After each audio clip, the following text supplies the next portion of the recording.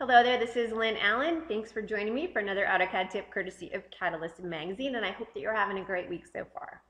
I hope that you are a little more organized than I am because I do tend to be slightly disorganized.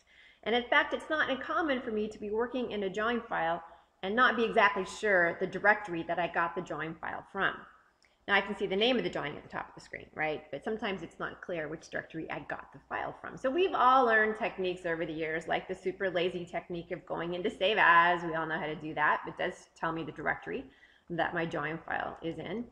Um, if you have 2014 or 2015, you can also do a right click on any open file tab and you'll see a cool option that says open file location, which is another way to figure out which directory your drawing file is in.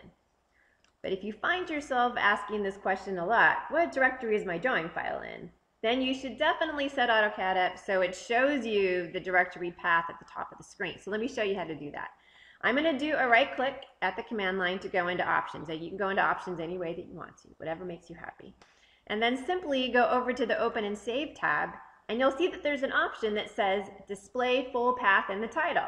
Ah, easy enough, hit an OK to get out.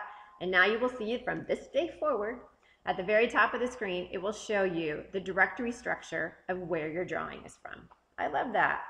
I like to have that on by default. It's totally up to you. I hope that this will help you be just a little bit more organized, and I'll see you back here in two more weeks. Thank you for joining me.